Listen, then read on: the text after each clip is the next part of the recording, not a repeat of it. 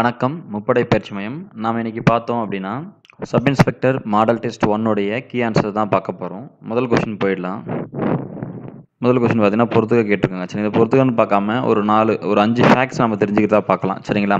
இப்போ தமிழ் இலக்கியத்தின் விடிவெள்ளி யாருன்னு சொல்லி பார்த்தோன்னா பாரதியார். சரிங்களா? தமிழுக்கு விடிவெள்ளி அப்படின்னு சொல்ல போகிறது பாரதியார்.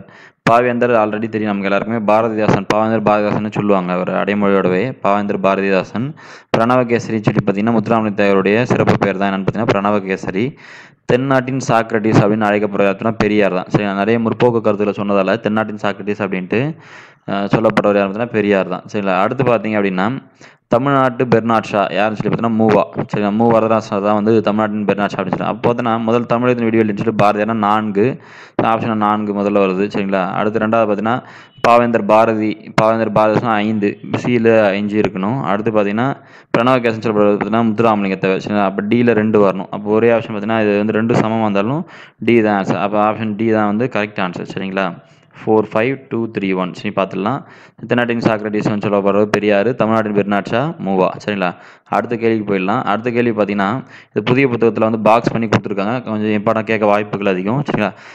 நாளை என் தாய்மொழி சாகுமானால் இன்றே நான் இறந்து விடுவேன் அப்படின்னு சொன்னவர் யார் பார்த்தீங்கன்னா ரசூல் கம்சதேவ். சரிங்களா? நாளை என் தாய்மொழி சாகுமானால் இன்றே நான் இறந்து விடுவேன் சொன்னவர் ரசூல் கம்சதேவ். சரிங்களா? சரி அடுத்து பார்த்தீங்க அப்படின்னா கிராமில் கொடுத்துருக்காங்க. சரிங்களா? இடுகுறி பெயர் சரிங்களா? இடுகுறி பெயர் நீங்கள் அடுத்து பார்த்தீங்கன்னா இடுகுறி பொது பெயர் இடுகுறி சிறப்பு பெயர் காரண பொது பெயர் காரண சிறப்பு பெயர் ஒரு பொருளோட பெயரை வந்து இ- இட்டு சரிங்களா அழைக்கப்பட்ட பொதுவான மொத்தத்தையுமே குறிக்குதுன்னா அது வந்து பொது பெயர் சரிங்களா. இப்போ காடு அப்படிங்கிறதுக்கு எந்த காரணம் சில பேர் வைக்கிறதுக்கு அது இடுகுறி பெயர் தான். அங்கே வந்து பல்வேறு மரங்கள் இருக்கும். அப்போ பொதுவாக எல்லா பல்வேறு மரங்களோட குழுமி இருக்கக்கூடிய இடப்பகுதியை குறிக்கிறது தான் காடு சரிங்களா. அதான் இடுகுறி பொது பெயர்னு சொல்லுவாங்க. அது இடுகுறி சிறப்பு பெயர் தான் பனை. பனைன்றது வந்து பனையை மட்டும்தான். பனை மரத்தை வகை சார்ந்தது தான் பனைன்னு சொல்லுவாங்க. அதான் இடுகுறி சிறப்பு பெயர். அடுத்து காரணம் பொது பெயர் பார்த்தீங்கன்னா பறவை அப்படிங்கிறது. பறவையில் பல்வேறு பறவைகள் இருக்குது பறக்கிறதுனால அது பேர் வந்து பறவை. அதுதான் காரண பொது பெயர். காரண பெயர். அதில் பொது பெயர் பார்த்தீங்கன்னா பறவை பல்வேறு பறவைகள் உள்ளடக்கியதால் அது வந்து பறவை அப்படின்னு சொல்லி சொல்கிறாங்க அது பொது காரண பொது பெயராயிடும். காரண சிறப்பு எதுனா மரங்கொத்தி. பறவையில் ஒன்று இது ஆக்சுவலி அந்த பறவையில் ஒன்று மரங்கொத்தி மரத்தை கொத்துறதால அதுவும் காரண பெயர் தான். காரண சிறப்பு பெயர். சரிங்களா? அப்போ தானே ஏக்கு வந்து உங்களுக்கு மூணு பிக்கு நாலு வரணும். இப்போ ஏக்கு மூணு பிக்கு நாலு வருது. சிக்கு பார்த்தீங்க அப்படின்னா ரெண்டு வரணும். சிக்கு ரெண்டு வருதுன்னா ஆப்ஷன் ஏ மட்டும்தான். ஆன்சர் ஆப்ஷன் ஏ சரிங்களா? அடுத்த கேள்வி போயிடலாம். தண்ணீர் தேசம் என்ன நூலின் ஆசிரியர் இதுக்கு நிறைய பேர் வந்து கோமல் சா வாய்ப்பு இல்லை ஏன்னா தண்ணீர் தண்ணீர் அப்படிங்கிற இது உரைநடை எழுதுனது தான் வந்து கோமல் சுவாமிநாதன். தண்ணீர் தேசம் எதுன்னு பார்த்தீங்கன்னா நம்மளுடைய வைரமுத்து. சரிங்களா? தண்ணீர் தேசம் எனும் நூலின் ஆசிரியர் யாருங்க? வைரமுத்து. சரிங்களா? அடுத்து கனிவாய் இலக்கண குறிப்பு யாது அப்படின்னு சொல்லி கேட்டிருக்காங்க. கனிவாய் அப்படிங்கிறது வந்து ஓமை தொகை. சரிங்களா? கனிவாய் அப்படிங்கிறது ஓமை தொகை. சரிங்களா? அடுத்து பார்த்தீங்கன்னா மனோன்மணியம் என்னும் கவிதை நாடகம் எப்பொழுது எழுதப்படும் சொல்லி கேட்டிருக்காங்க. ஆயிரத்தி எட்நூற்றி தொண்ணூற்றி ஒன்றாம் ஆண்டு எழுதப்பட்டது. சரிங்களா? மனோன்மணியம் பார்த்தீங்கன்னா எப்போ எழுதப்பட்டது? ஆயிரத்தி எட்நூற்றி தொண்ணூற்றி ஓராம் ஆண்டு. சரிங்களா? அடுத்து பார்த்தீங்க அப்படின்னா இது வந்து இதனுடைய இணைப்புகள் கேட்டிருக்காங்க. சரிங்களா? அதாவது தவறான இணையை கேட்டிருக்காங்க. தலை ஏழு வகைப்படும். சரிங்களா? தலை வந்து ஏழு வகைப்படும். அடுத்து பார்த்தீங்கன்னா தொடை வந்து எட்டு வகைப்படும் பொருள்கோளும் எட்டு வகை வழா நிலையும் பார்த்தீங்கன்னா எட்டு வகை தான் சரி இங்கே ஏழு கொடுத்துருக்காங்க அப்போ இது தவறு. சரி தவறானதான் தேர்ந்தெடுத்துருக்கீங்க. சரிங்களா? அதாவது பார்த்தீங்க அப்படின்னா தலை வந்து ஏழு வகைப்படும் தொடை எட்டு பொருள்கோளும் எட்டு வழா நிலை வந்து எட்டு. ஏழு கொடுத்துருக்காங்க அது தவறு. அடுத்து வந்து செங்குட்டுவன் சட்டை இது மாதிரி தொகை கேட்டிருக்காங்க. எத்தனை தொகை வச்சுருக்காங்க நமக்கு தெரியும். வேற்றுமை தொகைகள் வந்து மொத்தம் எட்டு இருக்கும். சரி ஏழு இருக்கும். சரிங்களா? அப்போ எட்டு இருக்குது எட்டு வேற்றுமை தொகை இருக்கும். முதல் வேற்றுமை தொகை தெரியும் உங்களுக்கு. இரண்டாம் வேற்றுமை தொகை பார்த்தீங்கன்னா ஐ மூன்றாவது வந்து ஆல் ஆஹ், ஐ கு வந்து நான்காவதும் சரிங்களா? ஐந்தாவது பார்த்தீங்கன்னா இன். ஆறாவது அது. ஏழாம் வேற்றுமை பார்த்தீங்கன்னா கண் அப்படின்னு சொல்லி முடிச்சிருப்பாங்க. சரிங்களா? எட்டாம் வேற்றுமை எழுவாய் வேற்றுமைன்னு சொல்லி சொல்லியிருப்பாங்க. இப்போ நம்ம செங்குட்டவனது சட்டை. சரிங்களா? செங்குட்டவன் சட்டை அப்படின்னு செங்குட்டவனது சட்டைன்னு சொல்லலாம் அது பார்த்தீங்கன்னா இப்போ ஐ ஐ ரெண்டாவது ஆல் கு இன் அது எண்ணி பார்த்தீங்கன்னா தெரியும் உங்களுக்கு ஆறாம் வேற்றுமை. சரிங்களா? அதுன்னு முடியுதில்ல அது வந்து ஆறாம் வேற்றுமை தொகை. சரி அது மறைந்துள்ள தொகை வந்து பார்த்தீங்கன்னா ஆறாம் வேற்றுமை தொகை. சரிங்களா? அடுத்து பார்த்தீங்கன்னா கண்ணதாசன் தொடர்பான கூற்றுகள் கேட்டிருக்காங்க. இப்போ தமிழக அரசின் அரசியல் கவிஞர் வந்து கண்ணதாசன் இருந்திருக்காரு. சரிங்களா அது சரி. அடுத்து பார்த்தீங்கன்னா கண்ணதாசன் இயற்பெயர் வந்து என்ன சொல்லியிருக்காங்க முத்தையா ஆக்சுவலி இங்கே ராமாயணம் கொடுத்துருக்காங்க. ராமையா கிடையாது முத்தையா. கண்ணதாசனின் இயற்பெயர் கண்ணதாசன் பற்றி கண்டிப்பாக கேட்பாங்க சரிங்களா? முத்தையா. ராமையா கிடையாது. சரி கண்ணதாசன் புனை பேர் கமகப்பிரியன்னு சொல்லுவாங்க. சரிங்களா? கண்ணதாசன் புனை பேர் கமகப்பிரியன் தான். அதுவும் சரிதான். ஆயிரத்தி தொள்ளாயிரத்தி இருபத்தி ஏழாம் ஆண்டு சிறுகுடல்பட்டியில் தான் பிறந்தார். கணதாசன் எங்கே பிறந்தானா ஆயிரத்தி தொள்ளாயிரத்தி இருபத்தி ஏழாம் ஆண்டு சிறுகுடல்பட்டியில் ஆறாயிரத்துக்கும் மேற்பட்ட திரைப்பட பாடல்கள் எழுதின்னு சொல்லுவாங்க ஆறாயிரம் கிடையாதுங்க. ஐந்தாயிரத்துக்கும் மேற்பட்ட பாடல்கள் தான் இது. ஆறாயிரத்து தாண்டலை. சரிங்களா? அதனால் இது தவறு. சரிங்களா? அப்போ கீழே பார்த்தீங்கன்னா எது எது தவறுன்னு சொல்லி கேட்டிருக்காங்க. நம்ம பார்த்தோன்னா இரண்டாவதும் ஐந்தாவதும் தவறு. சரிங்களா? அப்போ ஆன்சர் டி சரிங்களா? அடுத்து பார்த்தீங்கன்னா பொருந்தா இணை கேட்டிருக்காங்க. ஆலம் காடுன்னு தான் சொல்லுவாங்க. பனந்தோப்புன்னு சொல்லுவாங்க. பலா தோட்டம்னு சொல்லி சொல்ல மாட்டாங்க. சரிங்களா? அடுத்து கொய்யாவும் தோப்புன்னு தான் சொல்லுவாங்க. அப்போ இதுதான் பொருந்தாத இணை சரிங்களா? அடுத்து பார்த்தீங்கன்னா ரைட் எ நைன் ஃபார்ம் இமேஜினுக்கான நவுன் ஃபார்ம் கேட்குறாங்க நவுன் நவுன் ஃபார்ம் பார்த்தீங்கன்னா இமேஜினேஷன் அப்படின்னு சொல்லி சொல்கிறாங்க சரிங்களா? அது நவுன் ஃபார்ம் ஆஃப் இமேஜின் பார்த்தீங்கன்னா இமேஜினேஷன் சரிங்களா? அடுத்து the mother raises here five children இதோட பிரேசல் வரும் அந்த அண்டர்லைன் பண்ணிக்கூடிய வார்த்தையில் பிரேசல் வரும் பார்த்தீங்கன்னா பிரேசல் பார்த்தீங்கன்னா பிரிங்ஸ் அப் நீங்கள் எல்லாத்தையும் சேர்த்து படித்து பார்த்தீங்கன்னா உங்களுக்கு தெரியும் சரிங்களா? த மதர் வந்து சில்ட்ரனை வந்து என்ன தெரியும் வளர்த்துருக்காங்க அப்படின்னு மீனிங் தரணும் சரிங்களா? அப்போ இது எதுவுமே நீங்கள் சூஸ் பண்ண முடியும் பிரிங்ஸ் அப் தான் சூஸ் பண்ணுங்க சரிங்களா? The mother raises her five children சரிங்களா? அப்போ இன்னொரு வார்த்தை ரேஸுக்கு பதிலாக பதிலாக ஒரு ப்ரோஸில் போகலான்னு பார்த்தீங்கன்னா நீங்கள் the mother brings of her five children அப்படின்னு சொல்கிறோம் சரிங்களா? அடுத்தனா she has been waiting for him of two hours சரிங்களா? ஏன்னா டூ ஹவர்ஸ் தான் வந்து வெயிட் பண்ணியிருக்காங்க சரிங்களா? அதாவது வருஷ கணக்காக வெயிட் பண்ணால் சின்ஸ்ன்னு சொல்லலாம் சரிங்களா? ஃபாரும் பையும் வந்து வெயிட் பண்ணதுக்கு சொல்ல மாட்டாங்க. எப்போலேருந்து அப்போலேருந்து அப்படின்னா ஆஃப்னா டூ ஹவர்ஸா அப்படின்னு இப்போ ஷார்ட் டைம் இருக்குல்ல அதனால் ஆஃப் தான் யூஸ் பண்ண முடியும் அதான். She has been waiting for him of two hours அடுத்ததுனா education is எடுத்துகிட்டு ஆர்டிகல் கேட்டுங்க ஆர்டிகல் வந்து நமக்கு பார்த்தீங்கன்னா எசென்ஷியல் முடிஞ்சிருக்கு சரிங்களா? இன்டெஃபின் ஆர்டிகல் ஏ யூஸ் பண்ண முடியும் ஆன் தான் சரிங்களா? ஏ இ e, தெரியும் உங்களுக்கு? ஒவல்ஸில் வந்து ஸ்டார்ட் பண்ண வேர்டோட ப்ரொனன்சியேஷன் நீங்கள் வந்து ஏஇஐஓ சரிங்களா? அதில் ஸ்டார்ட் ஆயிருந்தால ஆன் யூஸ் பண்ணலாம். Sir education is education is an essential thing for life இங்கிலீஷில் நீங்கள் சும்மா ஜஸ்ட் படித்து பார்த்தீங்கன்னாலே கம்ப்ளீட்டாக சரியான ஆப்ஷன் வந்து சூஸ் பண்ண முடியும். அடுத்ததான் let's go for a picnic shall we நீங்கள் நம்மளும் போகலாமா நீங்களும் வரீங்களா அப்படின்னு வச்சுக்கோங்க. நம்மளும் போகலாமா அப்படின்னு சொல்லலாம் நம்ம போகலாமா அப்படின்னு சொல்லி கேட்குறாங்க அப்போ ஷல்வி தான் கொஷின் டேக் பார்த்தீங்கன்னா ஷல்வின்னு சொல்லி முடிக்கலாம். Let's go for a picnic shall we அப்படின்னு சொல்லி கொஷின் கேட்குறாங்க அடுத்து பார்த்தீங்கன்னா cycling is my favourite sport choose the correct antonym சொல்லுங்க ஃபேவரட்டுக்கு ஆண்டனிம் இதெல்லாம் பார்த்தீங்கன்னா இன்ட்ரெஸ்ட்டு ஹாபி பேஷன்லாம் பார்த்தீங்கன்னா ஒரு நல்ல ஒரே மாதிரி மீனிங் தருது. சரிங்களா? அப்போ இது டிஃப்ரெண்ட்டான பார்த்தீங்கன்னா ஹேட்ஃபுல் தான். நீங்கள் அழகாக ஹேட்ஃபுல் சூஸ் பண்ண முடியும். சரிங்களா? ஃபேவரட்டுக்கு ஆப்போசிட் ஆண்டனிம் பார்த்தீங்கன்னா ஹேட்ஃபுல் சரி அதில் கணங்கள் வந்து கேட்டிருக்காங்க. சரி கணங்கள் பார்த்தீங்கன்னா வந்து உங்களுக்கு ஏ வெட்டு பி சேர்ப்பு சி கேட்டிருக்காங்க சரிங்களா? அப்போ வந்து நீங்கள் என்ன பண்ணோன்னா பியும் சியும் சேர்த்துட்டு அது அப்போ ஏல பிசியில் இல்லாதது ஏல டிஃப்ரெண்ட்டாக இருக்கிறதுன்னு பார்த்தீங்கன்னா தெரிஞ்சுக்கோங்க. ஏபிஇஎஃப் e, இருக்குது நீங்கள் பார்த்தீங்கன்னா ஏசிஇஜிஹெச் e, இருக்குது ஜிஹெச்கே இருக்குது நீங்கள் இதுலேருந்து பார்த்தீங்கன்னா இப்போ இதில் இல்லாத இங்கேயும் சேர்த்திங்க அப்படின்னா சி வந்துடும் இ ஆல்ரெடி e இருக்குது ஜி வந்துடும் ஹெச்சும் வந்துடும் சரிங்களா? அடுத்து கேவும் சேர்த்துலாம் அப்போ நீங்கள் வந்து இது வந்து ஏபிசி இஎஃப் ஜிஹெச்கேனே எழுதலாம். டி மட்டும் இருக்காது. இங்கே பார்த்தீங்கன்னா இங்கே வந்து ஹெச் வரைக்கும் இருக்குது டி மட்டும் டிஃப்ரெண்ட்டாக இருக்குது இது ரெண்டுத்துலேயுமே இல்லாத டியில் இருக்குது அது எதுன்னு பார்த்தீங்கன்னா டி தான். அப்போ ஆப்ஷன் ஏ வந்து நீங்கள் குறிக்கலாம். சரிங்களா? அடுத்து பார்த்தீங்கன்னா if A X square plus B X plus C is equal to zero has equal roots then C is equal to என்ன சொல்லி கேட்டிருக்காங்க? இந்த சமன்பாடு மூலங்கள் சமமெனில் அதாவது A X square plus B X plus C equal to zero என்ற சமன்பாடு மூலங்கள் சமமெனில் சியின் மதிப்பு சொல்லியிருக்காங்க? சியின் மதிப்பு minus B B square by four A சரிங்களா? டி இஸ் தி ஆன்சர் அடுத்து பார்த்தீங்கன்னா அதாவது ஒன்று கமா ஒன்று கமா ஜீரோ கமா ஒன்று ஜீரோ கமா ஜீரோ கமா ஒன்று கமா ஜீரோ ஆகிய புள்ளிகள் அமையும் நாற்கரத்தின் பரப்பு கேட்டிருக்காங்க சரிங்களா? பரப்புனா ஒன் ஸ்கொயர் யூனிட் சரிங்களா? அடுத்து பார்த்தீங்க அப்படின்னா sine theta is equal to one by root two எனில் டீட்டாவின் மதிப்பு. ஒருவேளை சைன் டீட்டாவுடைய எந்த டீட்டாவுடைய மதிப்பு ஒன் பை ரூட்டாவாக இருக்கும்னு சொல்லி கேட்டிருக்காங்க ஃபார்ட்டி ஃபைவ் டிகிரிக்கு தான் சரிங்களா? நீங்கள் டேபிள்லேயே அதை பார்க்க முடியும். Sine forty five degree is equal to one by root two சரிங்களா? அடுத்து பார்த்தீங்கன்னா முழுக்களில் இந்த ஈருறுப்பு செயல் அதாவது C into D is equal to C plus D minus one என வரையறுக்கக்கூடிய எனில் சமணி உறுப்பு என்ன சொல்லியிருக்காங்க சமணி உறுப்பு பார்த்தீங்கன்னா ஒன்று சரிங்களா? சரி அடுத்து பார்த்தீங்கன்னா ஒரு பையில் ஐந்து கருப்பு நான்கு வெள்ளை மற்றும் மூன்று சிவப்பு நிற பந்துகள் உள்ளன. சமவாய்ப்பு முறையில் தந்திருக்கும் ஒரு பந்து சிவப்பு நிறமாக இல்லாமல் இருக்கும் நிகழ்த்தாக பார்த்தீங்கன்னா சரிங்களா? மூணு பை நாலு சரிங்களா? சிவப்பு நிறமாக மட்டும் இருக்கக்கூடாது சரிங்களா? சரி அடுத்து பார்த்தீங்க அப்படின்னா ஐம்பத்தி ரெண்டு சீட்டுகள் கொண்ட ஒரு சீட்டு கட்டிலிருந்து ஒரு சீட்டு எடுக்கப்படும் போது அது ஒரு ஆஸாக இல்லாமலும் மற்றும் ஒரு ராசாவாக இல்லாமல் இருக்கும் நிகழ்த்தகவு என்னச்சு பார்த்தீங்கன்னா பதினொன்று பை பதிமூணு. சரிங்களா? ஆஸாக இருக்கக்கூடாது கிங்காகவும் இருக்கக்கூடாது. சரிங்களா? அதில் வந்து அப்போ என்ன வாய்ப்பு இருக்குது மற்றதுக்கு பதினொன்று பை பதிமூணு வாய்ப்பு தான் இருக்குது சரிங்களா? சரி அடுத்து வந்து ஜிகேக்கு போயிடலாம் சயின்ஸ் ஜிகே இது பார்த்தீங்கன்னா வந்து பொறுத்துக்க சொல்லி கேட்டிருக்காங்க. பொறுத்துக்க கேட்டிருக்காங்க. சரிங்களா? பார்த்தீங்கன்னா வந்து இப்போ குறுக்கலை பார்த்தீங்கன்னா இருக்க மற்றும் தளர்ச்சி. சரிங்களா? குறுக்கலை பார்த்தீங்கன்னா இருக்க மற்றும் தளர்ச்சி. நெட்டலை பார்த்தீங்க அப்படின்னா அதுவும் ஆல்சோ வந்து பார்த்தீங்கன்னா நெட்டலை பார்த்தீங்கன்னா சேம் வந்து சாரி குறுக்கலை பார்த்தீங்கன்னா உங்களுக்கு வந்து குறுக்கலை பார்த்தீங்கன்னா முகடு மற்றும் அகடு. சரிங்களா? நெட்டலை பார்த்தீங்கன்னா இருக்க மற்றும் தளர்ச்சி.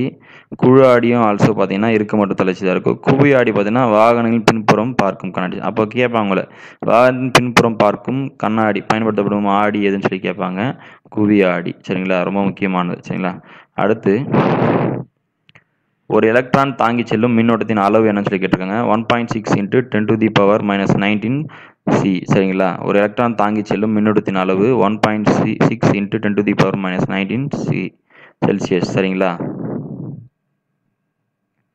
ஸோ அடுத்து பார்த்தீங்க அப்படின்னா சரியான எண்ணெய் தெரிவு சொல்லியிருக்காங்க இது எல்லாமே சரி தான் ஆக்சுவலி சரிங்க மேற்கொண்ட அனைத்தும் தான். அப்போ அல்கேனோட வாய்ப்பாடு பார்த்துங்க. C N H two N plus two சரிங்களா? அதாவது சிஎன் அதாவது C N H two N plus two சரிங்களா? அல்கின் பார்த்தீங்க அப்படின்னா C two H two N ஒன்றும் இல்லை. C two H two N வந்து எல்லாத்துக்குமே வருதுங்க சரிங்களா? ப்ளஸ் டூ வந்து அல்கேனு ப்ளஸ் டூ எதுவுமே வரல அப்படின்னா அல்கீனு மைனஸ் டூ வந்தால் அல்கைன் ஈஸியாக ஞாபகம் வச்சுங்க ப்ளஸ் டூ அதாவது சிஎன் ஹெச் டூ என்ன்றது எல்லாத்துக்குமே வருது. இந்த அல்கேன் அல்கீன் அல்கைனுக்கு ப்ளஸ் டூ வந்தால் அல்கைனு அல்கேன் ப்ளஸ் டூ வந்தால் எதுவுமே வரலாம் அல்கீனு அல்கைனுக்கு பார்த்தோன்னா மைனஸ் வரும். அவ்வளோதாங்க சரிங்களா? சிஎன் ஹெச் டூ என் மட்டும் ஞாபகம் வச்சுங்க ப்ளஸ் டூ இல்லாமல் இருந்தால் அல்கீனு எதுவுமே இல்லாமல் இருந்தால் ப்ளஸ் டூ இருந்தால் அல்கேனு மைனஸ் டூ இருந்தால் அல்கைனு சரிங்களா? அடுத்து பார்த்தீங்கன்னா மூலக்கூறுகளின் three point zero double one five into ten to the power twenty three சரிங்களா அந்த மூலக்குள் கொண்ட ஒரு பொருளின் மோல் எண்ணிக்கையை கணக்கிட சொல்லியிருக்கேன் பார்த்தீங்கன்னா ஜீரோ பாயிண்ட் ஃபைவ் மோல்கள் இருக்கும். சரிங்களா? சரி அடுத்து பார்த்தீங்கன்னா பொறுத்துக்க இதில் நாலு ஒரு வந்து நிறைய விஷயம் நீங்கள் தெரிஞ்சுக்கலாம். இது வந்து பிரித்தெடுக்கும் முறை. சரிங்க பாக்ஸ் எடுப்பு தாதுலேருந்து பார்த்தீங்கன்னா பேயர் முறையில் பிரித்தெடுப்பாங்க. அது பாக்ஸ் சைடு பார்த்தீங்கன்னா பேயர் முறையில் பேயர் முறையில் வந்து பிரித்து எடுப்பாங்க காப்பர் பைரைட் பார்த்தீங்க அப்படின்னா நுரை எதிர்ப்பு முறையில் காப்பர் பைரேட் அதனோட தாது வந்து பிரித்து எடுப்பாங்க சரிங்களா? அடுத்து ஹெமடைட் ஹெமடைட் பார்த்தீங்கன்னா புவி ஈர்ப்பு பிரிப்பு முறை. ஹெமடைட்னா இரும்பு நாங்கள் சரிங்களா? புவி ஈர்ப்பு பிரிப்பு முறை. அது காந்த சக்தியால் அதை வந்து பிரித்து எடுப்பாங்க அதுதான். சரிங்களா? அது பாக்ஸைட் பார்த்தீங்கன்னா பேயர் முறை. காப்பர் பைரைட் பார்த்தீங்கன்னா நுரை மிதப்பு முறை. ஹேமடைட் பார்த்தீங்கன்னா புவியீர்ப்பு பிரிப்பு முறை. சரிங்களா? அடுத்து பார்த்தீங்கன்னா கிளிகாலிசிஸ் எந்த வழித்தடம் என அழைக்கப்படுது? எந்த வழித்தடம் பார்த்தீங்கன்னா இஎன்பி வழித்தடம். சரிங்களா? கிளிகாலிசிஸ் எந்த வழித்தடம்னா இஎம்பி வழித்தடம். சரிங்களா? அடுத்து பார்த்தீங்க அப்படின்னா மனித மண்டையோட்டில் உள்ள எலும்புகளின் எண்ணிக்கை கேட்டிருக்காங்க. மொத்தம் இருபத்தி ரெண்டு சரிங்களா? மனித மண்டையோட்டில் உள்ள எலும்புகளின் எண்ணிக்கை மொத்தம் இருபத்தி இரண்டு சரிங்களா? அடுத்து விலங்குகள் மற்றும் அது இடப்பெயர் உறுப்பு என்னன்னு சொல்லி கேட்டிருக்காங்க சரிங்களா? பார்த்தீங்க அப்படின்னு தெரியும். மண்புழு பார்த்தீங்க அப்படின்னா உடலை சீட்டாக்களை பயன்படுத்தி இடப்பெயர்வு செய்யும். சரிங்களா? மீன்கள் துடுப்பு பயன்படுத்தி இடப்பெயர்வு செய்யும். அது உங்களுக்கு தெரியும். வௌவால் பார்த்தீங்கன்னா பெட்டாஜியம் பயன்படுத்தி இடப்பெயர்வு செய்யும். சரிங்களா? மண்புழு வந்து உடலை சீட்டாக்கள் மீன்கள் துடுப்பு வௌவால் வந்து பெட்டாஜியம் பயன்படுத்தி இடப்பெயர்வு செய்யும். அதனால் டூ த்ரீ ஒன் தான் ஆன்சர் சரிங்களா? அடுத்து பார்த்தீங்கன்னா எந்த பருவ காலத்தின் கருவின் தசைகளும் எலும்புகளும் நன்றாக உருவான இரண்டாம் பருவ காலம் சரிங்களா? செகண்ட் ட்ரிமெஸ்டர் சரிங்களா? அதாவது எந்த பருவகாலத்தின் கருவின் தசைகளும் எலும்புகளும் நன்றாக உருவாகுன்னு பார்த்தீங்கன்னா இரண்டாம் பருவ காலம் சரிங்களா? அடுத்து பார்த்தீங்கன்னா மனித குரோம் சோ சோம் தொகுப்பு வரைபடத்தின் தொடர்படுத்தி பொறுத்துக்கன்னு சொல்லி கேட்டிருக்காங்க சரிங்களா? அப்போ நீங்கள் பார்த்தீங்கன்னா பி தொகுதி பார்த்தீங்க அப்படின்னா பி குரோம்சோம் தொகுதி பார்த்தீங்கன்னா நான்கு மற்றும் ஐந்து சரிங்களா? அப்போ டி குரோம்சோம் தொகுதி பார்த்தீங்கன்னா பதிமூன்று பதினான்கு மற்றும் பதினைந்து சரிங்களா? எஃப் குரோமசோம் தொகுதி பார்த்தீங்க அப்படின்னா பத்தொன்பது மற்றும் இருபது சரிங்களா? அடுத்து e இ குரோமசோம் தொகுதி பார்த்தீங்க அப்படின்னா பதினாறு பதினேழு மற்றும் பதினெட்டு சரிங்களா? சரி, அடுத்த கேள்வி பார்த்தீங்க அப்படின்னா சரிங்களா? அடுத்து பார்த்தீங்கன்னா பொறுத்துக்கு கேட்டிருக்காங்க சரிங்களா? அதாவது உறுப்பு அந்த உறுப்பில் ஏற்படுற புற்றுநோய்க்கான பெயர் என்ன சொல்லி கேட்டிருக்காங்க சரிங்களா? நாளமில்லா சுரப்பில் பார்த்தீங்கன்னா அடினோமா அடினோ இருக்குல்ல? அப்போ அடினோமா அப்படின்றது வந்து நாளமில்லா சுரப்பி சரிங்களா? அடுத்து பார்த்தீங்கன்னா ரத்த ஓட்டத்தில் ஏற்படுது ரத்தம்னாலே உங்களுக்கு தெரியும் லுக்கிமியா சரிங்களா? அந்த தெரியும் இல்லைங்களா உங்களுக்கு லுக்கிமியான ரத்தத்தோட சம்மந்தப்பட்டது தான் அதை ரத்த ஓட்டத்தில் ஏற்படுற கேன்சர் புற்றுநோய் பார்த்தீங்கன்னா லுக்குமியா சரிங்களா? அடுத்து பார்த்தீங்க அப்படின்னா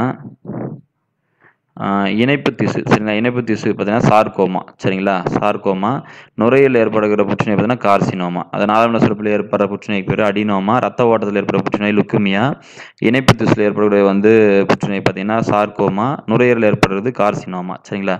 அடுத்து பார்த்தீங்கன்னா கல்லீரல் அலட்சி எதால் ஏற்படுதுன்னா அதிகபட்ச மது அருந்துதலால் மது அருந்துனால முதல்ல பாதிக்கப்படுற பகுதியே பார்த்தீங்கன்னா கல்லீரல் தான் சரிங்களா? அதனால் ம மஞ்சள் க மஞ்சள் கமலை போன்ற நோய்கள்லாம் ஏற்படும் சரிங்களா? கல்லீரல் அலட்சி எதனால் ஏற்படுதுன்னா மது அருந்ததால் அடுத்து இன்சுலின் சிறக்கும் செல்கள் பார்த்தீங்கன்னா பீட்டா செல்கள் சரிங்களா? இன்சுலின் சிறக்கக்கூடிய செல்கள் பார்த்தீங்கன்னா பீட்டா செல்கள் சரிங்களா? எஸ்என்எஸ் இருக்கிறது எதுங்க? பீட்டா செல்கள். சரிங்களா? அடுத்து பார்த்தீங்கன்னா தூர பறவை குறைபாடு சரி செய்ய உதவுவது குவி லென்ஸுங்க. கான்வெக்ஸ் லென்ஸ்னு சொல்லுவாங்க. சரிங்களா? அதாவது குவி லென்ஸ். தூர பறவை குறைபாடு சரி செய்ய உதவுவது குவி லென்ஸ். சரிங்களா? அடுத்து உண்மை தோற்ற விரிவு குணத்தின் எஸ்ஐ அழகு சொல்லி பார்த்தீங்கன்னா கே கே இன்வர்ஸ் ஒன்னு சொல்லுவாங்க. சரி கே இன்வர்ஸ்னு சொல்லுவாங்க. அதாவது கே பவர் மைனஸ் ஒன் அதாவது உண்மை தோற்ற விரிவு குணகத்தின் எஸ்ஐ அழகு பார்த்தீங்கன்னா கே இன்வர்ஸ் ஒன் சரிங்களா? அடுத்து பார்த்தீங்க அப்படின்னா அயனியாக்கும் கதிரீச்சின் அளவினை கண்டறியும் சாதனம் என்ன சொல்லிக்கிட்டு இருக்கேன். டோசி மீட்டர் சரி என்னதுங்க? அயனியாக்கும் கதிரீச்சின் அளவினை கண்டறியும் சாதனம் டோசி மீட்டர் சரிங்களா? அடுத்து மேகக்கூட்டங்கள் வெண்மை நிறமாக காட்சியளிக்க எச்சுதல் காரணமாக அமைது பார்த்தீங்கன்னா மீ ஒளிச்சிதறல். மேகக்கூட்டங்கள் வெண்மை நிறமாக காட்சியளிக்க எச்சிதறல் காரணமாக அமைகிறது பார்த்தீங்கன்னா மீ ஒளிச்சிதறல். அடுத்து பார்த்தீங்கன்னா துருவ பகுதியில் புவியீர்ப்பு முடுக்கத்தின் மதிப்பு பார்த்தீங்கன்னா அதிகமாக இருக்கும். சரிங்களா? எப்பவுமே துருவங்களை தான் வந்து புவியீர்ப்பு முடுக்கம் வந்து அதிகமாக இருக்கும். சரிங்களா? துருவ பகுதியில் புவியீர்ப்பு முடுக்கத்தின் மதிப்பு அதிகமாக இருக்கும். அது கீழ்கண்டதில் எந்த பயன்பாடு புதிய விண்மீன்கள் மற்றும் கோள்களை கண்டுபிடிக்க உதவுகிறதுன்னு சொல்லி பார்த்தீங்க அப்படின்னா நியூட்டன் புதிய ஈர்ப்பியல் விதி. சரிங்களா? எந்த விதின்னு சொல்லி கேட்பாங்க. அதாவது புதிய விண்மீன்கள் மற்றும் கோள்களை கண்டுபிடிக்க உதவுவது நியூட்டனின் பொது ஈர்ப்பியல் விதி. சரிங்களா? அடுத்து பார்த்தீங்க அப்படின்னா கீழ்கண்ட எந்த வினையில் சேய் உட்கருவின் நிறை எண் மாறாமல் இருக்கும்னு சொல்லி பார்த்தீங்க அப்படின்னா சரிங்களா? இதில் பார்த்தீங்கன்னா பீட்டா சிதைவிலையும் காமா சிதைவிலையும் சரிங்களா? ஆல்ஃபால கிடையாது பீட்டா மற்றும் காமா சிதைகளில் அந்த வினை நடக்கும்போது சேய் உட்கரு நிறை எண் மாறாமல் இருக்கும் சரிங்களா? பீட்டா மற்றும் காமா சிதைவில். அடுத்து பார்த்தீங்கன்னா பல்லுயிர் தன்மை என்ற பதத்தை முதல் முதல்ல சொன்னவர் யாருன்னு சொன்னா வால்டர் ரோசன் சரிங்களா? பல்லுயிர் தன்மை ஹூ காயின்டு டேர்ம் பயோடைவர்சின்னு சொல்லுங்க யாருன்னு பார்த்தா வால்டர் ரோசன். அடுத்து பார்த்தீங்கன்னா கடல் சாமந்தி எந்த தொகுதியை சார்ந்துன்னு சொல்லியிருக்கேன் சிலண்டரேட்டா சரிங்க கடல் சாமந்தி பார்த்தீங்கன்னா எந்த தொகுதியை சிலண்டர் சிலண்டரேட்டா அடுத்து கனசதுர வடிவ எப்பித்திலியத்தின் முக்கிய பணி என்ன சொல்லிக்கிட்டு இருக்காங்க சுரப்பு மற்றும் உறிஞ்சுதல். சரிங்க கனசதுர வடிவ எப்பித்திலியத்தின் முக்கிய பணி என்னன்னு சொல்லி பார்த்தீங்கன்னா சுரப்பு மற்றும் உறிஞ்சுதல். அடுத்து பார்த்தீங்க அப்படின்னா பணிகளை கேட்டிருக்காங்க. சிறுகுடலோட பணி பார்த்தீங்கன்னா செரிமானம் மற்றும் உட்கிரகித்தல். சரிங்களா? சிறுகுடலோட பணி செரிமானம் மற்றும் உட்கிரகித்தல். சரிங்களா? அடுத்து பார்த்தீங்கன்னா கணையத்தோட வேலை என்னன்னு சொல்லி பார்த்தீங்கன்னா மின்பகு பொருட்களை கடத்துதல். என்னதுங்க? மின்பகு பொருட்களை கடத்துறது தான் யாரோட வேலை? கணையத்தோட வேலை. சரிங்களா? அடுத்து கல்லீரலோட வேலை பார்த்தீங்க அப்படின்னா சரிங்களா? அதை வந்து கல்லீரல் வந்து மிகப்பெரிய தொழிற்சாலைன்னு சொல்கிறாங்க கல்லீரலை மிகப்பெரிய தொழிற்சாலை அப்படின்னு சொல்லி சொல்கிறாங்க சரிங்களா? அடுத்து பெருங்குடலோட வேலை பார்த்தீங்கன்னா குளுக்கோஸை உட்கிரகித்தல். சிறுகுடல் வந்து செரிமானம் மற்றும் உட்கிரகித்தல். கணையம் வந்து மின்பகு பொருட்களை கடத்துதல். கல்லீரல் பார்த்தீங்கன்னா மிகப்பெரிய தொழிற்சாலைன்னு சொல்லி சொல்கிறாங்க பெருங்குடல் பார்த்தீங்கன்னா குளுக்கோஸை உட்கிரகிறது தான் பெருங்குடலோட வேலை சரிங்களா? அடுத்து பார்த்தீங்கன்னா கீழே செய்யறது வந்து கல்லீரல் பணியெல்லாம் சொல்லியிருக்காங்க. இன்சுலின் உற்பத்தி தான் சரிங்களா? அது பார்த்தீங்கன்னா மிச்சம்லாம் கல்லீரோட வேலை தான் என்னென்னா நச்சு நீக்கம் செய்யறது கிளைக்கஜன் சேமிப்பு பித்தநீர் உற்பத்தி செய்து இது எல்லாமே பித்தநீர் உற்பத்தி செய்து எந்த உறுப்புன்னு கேட்பாங்க? கல்லீரல். கிளைக்கஜனை சேமிச்சு வைக்கிறது கல்லீரல். நச்சு நீக்கம் செய்கிறதும் கல்லீரல். சரிங்களா? ஆனால் இன்சுலின் மட்டும் உற்பத்தி யார் செய்யுங்க பீட்டா செல்கள் நம்ம ஆல்ரெடி பார்த்தோம் இல்லைங்களா? கணையத்தில் இருக்கக்கூடிய பீட்டா செல்கள் தான் வந்து இன்சுலினை உற்பத்தி செய்யுது. சரிங்களா? அடுத்து செக்ரிகேட் பண்ணுறது அடுத்து பார்த்தீங்கன்னா ஜிம்னோஸ்பெம்களில் சல்லடை குழாய்களை கட்டுப்படுத்துவதுன்னு சொல்லி கேட்குறாங்க. சரிங்களா? அதாவது துணைச்செல்களின் உட்கருக்கள். ஜிம்னோஸ்பெம்களில் சல்லடை குழாய்களை கட்டுப்படுத்துவது துணைச்செல்களின் உட்கருக்கள். சரிங்களா? அடுத்து பார்த்தீங்க அப்படின்னா பட்டை துளை படத்தில் குறிப்பிட்டுள்ள பாகங்கள் ஆ ஆ இஇஐ கண்டறிக்கன்னு சொல்லி கேட்டிருக்காங்க. தொடர்ந்து வரிசையாக கேட்டிருக்காங்க. என்னன்னா ஃபெல்லம் நெருப்பிச்செல்கள் ஃபெல்லோடம் ஃபெல்லோஜன் ஆகியவை தான் சரிங்களா? பட்டத்துளை படத்தில் குறிப்பிட்டுள்ள பாகங்கள் என்னன்னு சொல்லி கேட்டிருக்காங்க. ஃபெல்லம் நிரப்பிச்செல்கள் ஃபெல்லோடம் மற்றும் ஃபெல்லோஜன்கள் சரிங்களா?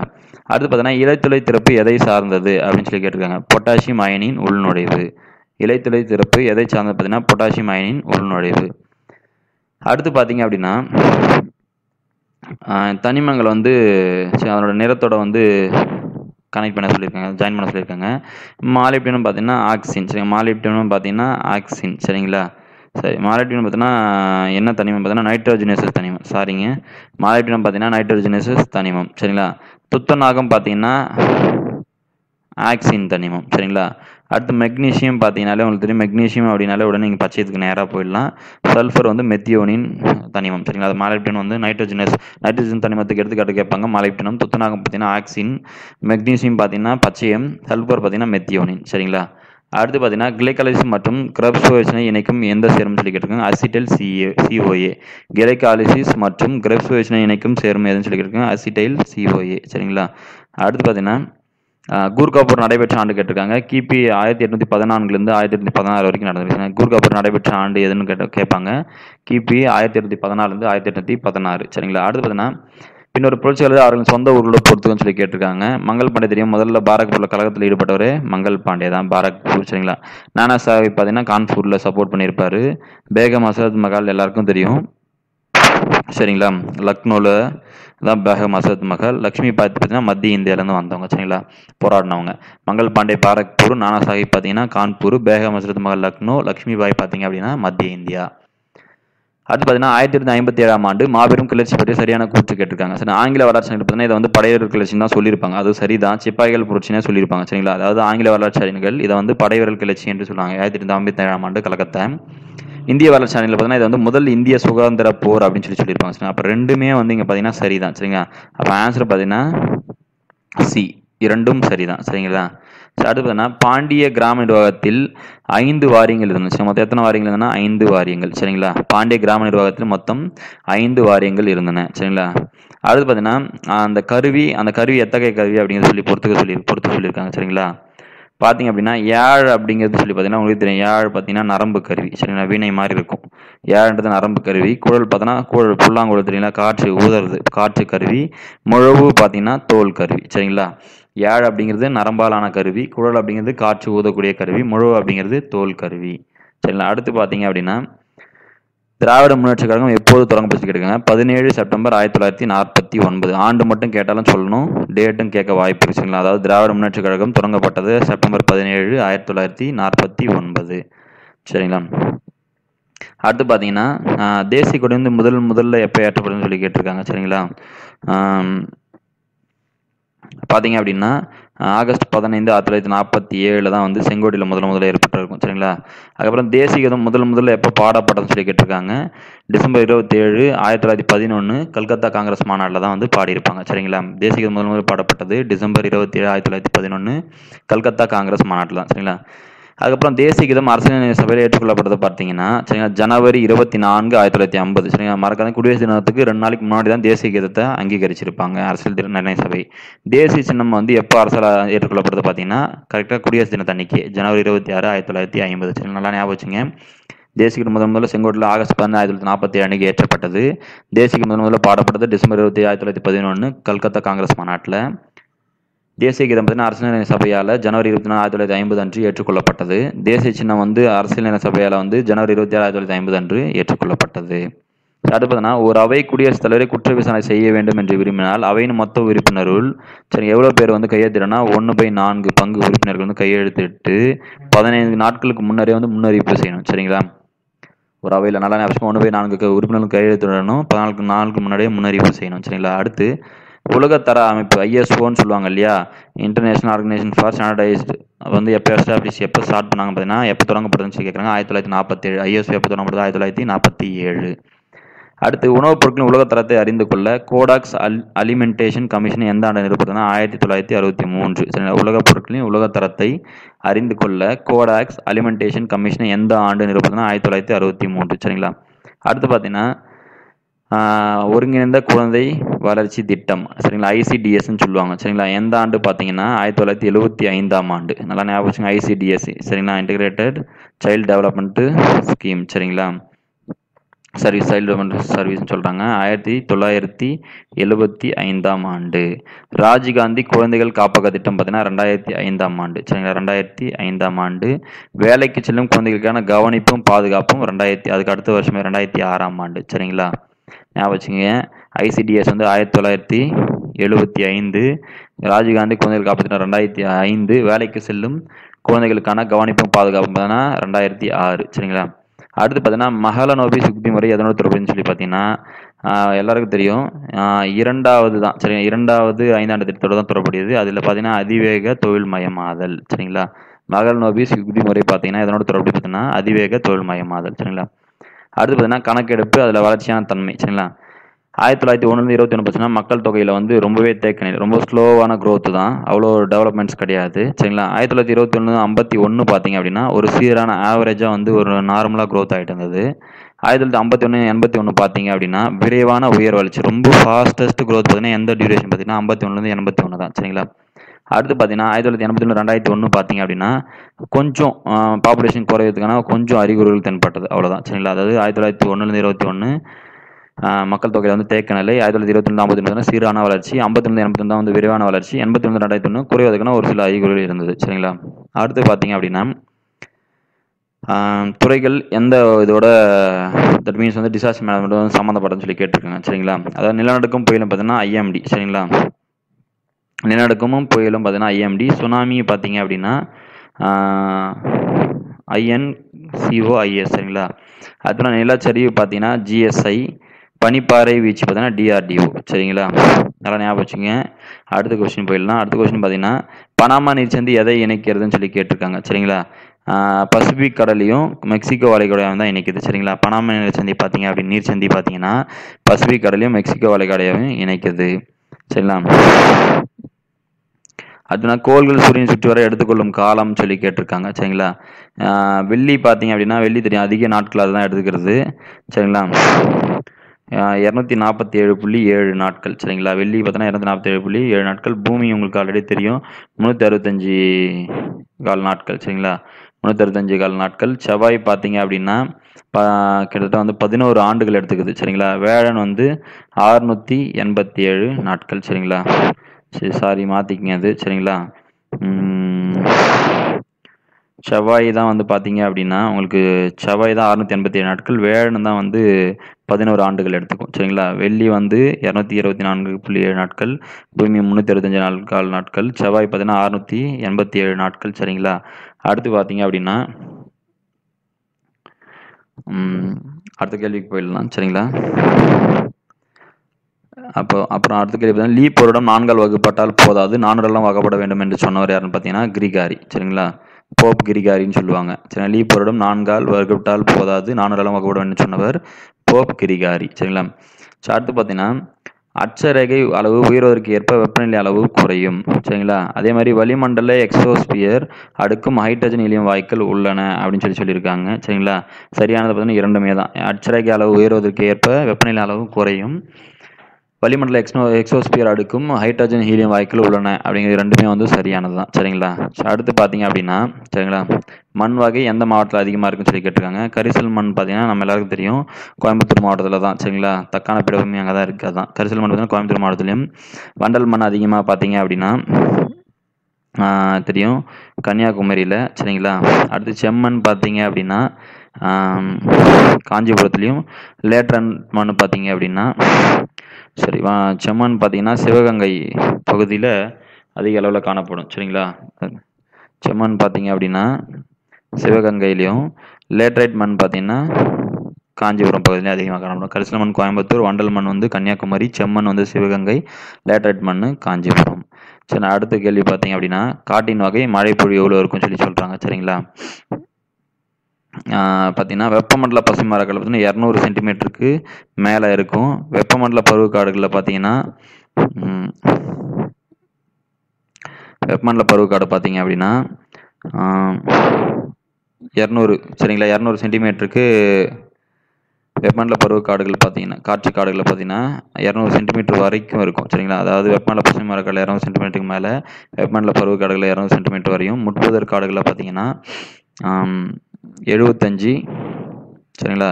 கிட்டத்தட்ட எழுபத்தஞ்சி சென்டிமீட்டர் வரைக்கும். பாலைவன காடுகளில் இருபத்தஞ்சி சென்டிமீட்டர் பாலைவனம் சொன்னாலே இருக்கிறதுல அதுதான் கம்மியாக இருக்கும். நீங்கள் அதை பார்த்து ஆப்ஷன் ஃபிக்ஸ் பண்ண முடியும். சரிங்களா? இருபத்தஞ்சி சென்டிமீட்டருக்கும் குறைவாக இருக்கக்கூடியதாக வந்து சொல்லுவாங்க. சரிங்களா? சரி, அடுத்த கேள்வி போயிடலாம். தெலுங்கானா மாநிலத்தின் மாமன் மாநில பழம் சொல்லிட்டு இருக்காங்க மாம்பழம். சரி இப்போ சமீபத்தில் தான் அறிவிச்சாங்க. சரிங்களா? தெலுங்கானா மாநிலத்தின் மாநில பழம் மாம்பழம். சரி அடுத்து பார்த்தீங்க அப்படின்னா வேதப்படல் முக்கிய தொகுப்பின் பெயர் சம்ஹிதைகள் சரிங்களா? வேதப்படல் முக்கிய தொகுப்பின் பெயர் சம்ஹிதைகள்னு சொல்லுவாங்க. அடுத்து பார்த்தா பகவதி சூத்திரம் ஒரு சமண நூலாகும். பகவத் சூத்திரம் பார்த்தீங்கன்னா ஒரு சமண நூலாகும். சரிங்களா? அடுத்து பார்த்தீங்கன்னா கரிகாலன் வந்து இளஞ்சர்ச்சனியின் மகன் ஆவார் கரிகாலன் இளஞ்சர்ச்சனியின் மகன் ஆவார் அப்புறம் கீழ்கண்ட இது வந்து நுண்ணில் புரதம் சார்ந்து பார்த்தீங்கன்னா நாடளவுக்கெல்லாம் நுண்ணில் புரதத்தில் பேசவே மாட்டாங்க. சரிங்க வேலையின்மை இதை பற்றிலாம் பேசவே மாட்டாங்க. சரிங்க அப்போது கோதுமையின் விலை அதன் தேவை நிர்ணயிக்கிறது அப்படிங்கிறது தான் நுண்ணியல் பொருளாதாரத்தை சார்ந்தது சரிங்களா? நுண்ணியல் பொருள் சார்ந்தது கோதுமை விலை அதன் தேவையை நிர்ணயிக்கிறது. ஸோ அடுத்து பார்த்தீங்கன்னா தனிக்கருத்து பொது கருத்து பெறுமுறையை தொகுத்தாய்வு முறைன்னு சொல்லுவாங்க சரிங்களா? அதாவது தனிக்கருத்து பொது கருத்து பெறுமுறை தொகுத்தாய்வு முறை. அதான் வேதகால பேர் நவீன கால பெயர்கள்னு சொல்லி சொல்லியிருக்காங்க சரிங்களா? விதாஸ்தா அப்படிங்கிறது ஜீலம் நதியை தான் வந்து விதாஸ்தான்னு சொல்லுவாங்க. விபாஷ் அப்படின்னு பார்த்தீங்கன்னா பியாஸை தான் விபாஷ்னு சொல்லுவாங்க. பருஷ்னி அப்படிங்கிறது ராவி நதியோட வேதகால பெயர். அசிக்கினி அப்படிங்கிறது சீனாப் நதியுடைய ஆதிகால பெயர். சரிங்களா? விதாஸ்தா அப்படிங்கிறது ஜிலாம் நதியுடைய பழைய பெயர். விபாஸ்ன்றது பியாஸ் நதி அது. பருஷ்னி அப்படின்ட்டு ராவியை சொல்லுவாங்க. அசிக்கினின்ட்டு சீனாப்பா சொல்லுவாங்க. சரிங்களா? நன்றி. அடுத்த வீடியோவில் சந்திப்போம்.